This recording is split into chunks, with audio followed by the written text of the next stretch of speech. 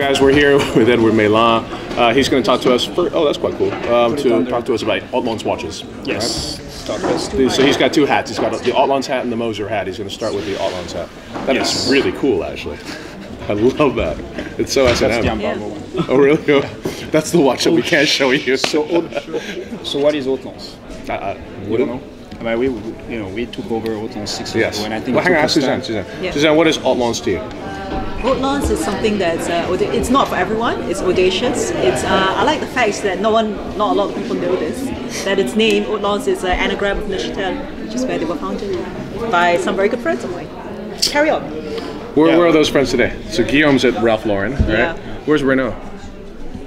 Renaud just left. He was with uh, Ernest Borel. And now he's doing a vertical weed farm. Correct? Yes. Maybe. Yeah, exactly. And uh, and Sandro life. is, I Yeah. think, with uh, with HYT. Okay, cool. But we, we still have the the engineers and the and the watchmakers, and um, in the last couple of years, really, we, we wanted to go back to this idea of more. Hautlence was the rebel, Right. One of the first ones. You know, So for you, the Hautlence is rebellion.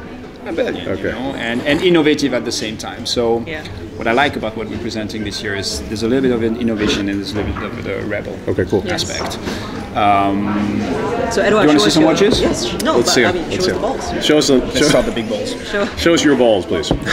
yes. The, the You know, spinning I would never have thought your balls would be black, actually. Or spinning. surprised. Yes. Huh? Or, Or spin, spinning.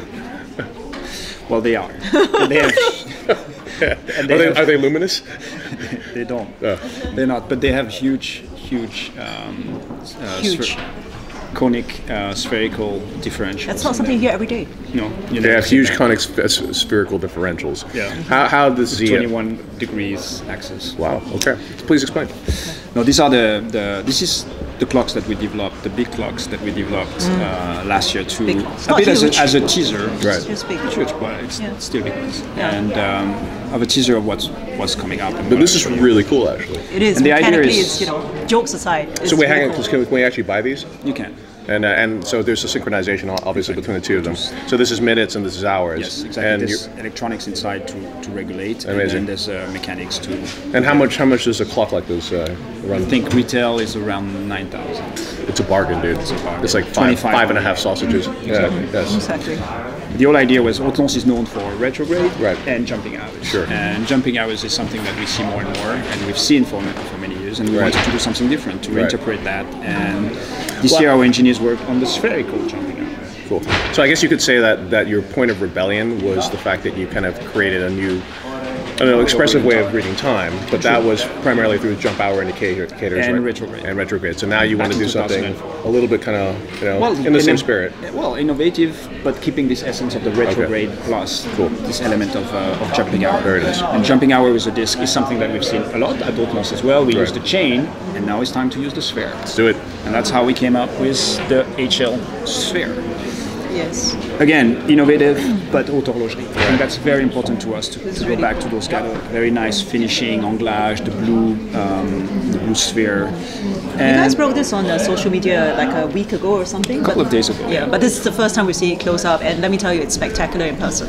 I think Hautlence needs, uh, a you know, to show that it's it's back there. There's new energy. There's a lot of innovation, and that's why we wanted to be a little bit ahead to attract people to say, "Hey, let's go and check it out." I think it's one of the coolest from the independent brands uh, watches this year. I haven't seen what everybody else is coming up, but uh, with, but I think it's a it's a very cool concept. Can you show us how the, uh, yeah, actually, it's definitely a standout. Well, it's simple. I mean, we, we it's not simple, but the way we developed the idea of Hautlence is now that we have this movement. If you look at it, it's the TV screen. I mean, I fell Yeah. in love with Hautlence because of that chain. And we, what we did is, based on the Moser movement, we created a, a basic movement for Hautlence, which is in two parts. On one side, we have the, the movement base, Okay. which is the automatic, uh, here modified for to have a retrograde. And on the right side, we have this possibility to, to, to have different uh, affichage, jumping hours, etc. So we have in the pipeline a few of those. is it and this functional? year It is Can you functional. turn it for us? So right now it's you can see it's five Right. fifty, and you will see the time going to sixty. See the, the hand going to sixty, and then it's going to jump back, and at the same time we will see the sphere doing four hundred and fifty degrees. And number That's six. pretty on cool. this. Like, That is spectacular. you know, what would be awesome if you were rich and you were at Burning Man and you were on a whole bunch of mushrooms? You could just play with this like for days on end. yeah. Or just you know, just on mushrooms in general. You don't have to be uh, go all the way to the Burning Man. True. Exactly. Yeah, there's mushrooms. The Burning all- Man is like a state of mind, right? Exactly. You take the You can make the with man you. burn anywhere. Yeah. Right. So I know you guys have been like you know trying and experimenting and you know working with different price points over the years. What what do we see this coming in at? So this is 28 pieces at 99. Do you want me to? Okay. You want me to show it to you, Summit, or do you want to? Do you want to do it later? Later? Okay, cool.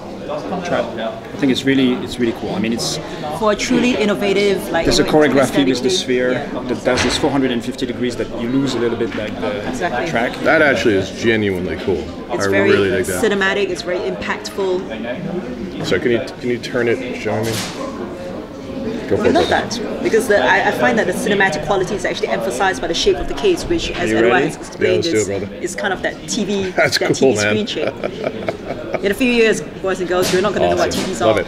And beautiful, of course, movement. You can al- also appreciate the, the sphere at the back with the escapement. Um, you see the uh, turning in the right direction. I hope so. Wow. And then, uh, what does a watch like this cost? 99,000. It's a bargain. 28 pieces limited, How white many, gold. how many sausages is that? Like seven. Like seven. Huh. If you, if you want the bread, sausages. six. You know. Then, as part of the co- collection, um, last year we launched the uh, the Vagabond, Okay. which is flying hours at Moser Vagabond. Oh, yes. At, uh, Okay. And here we launched it first time with a uh, turbo. When you launched the, the name Vagabond, was Journe a bit irritated because he's got vagabondage? But, uh, didn't talk to us, but I think I don't think. but he's usually quite on- ir- he's I usually quite irritated anyway. It doesn't matter. Right? Yeah, yeah. He's just gonna angry Permanent now. state. I don't love him, but he's like an angry radar. dude. And I mean, it's visually they're quite distinct. Anyway, you wouldn't mix them up. Let's No. say.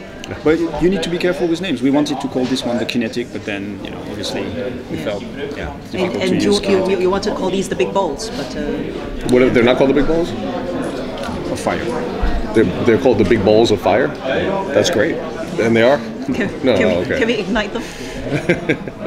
Flaming balls, guys.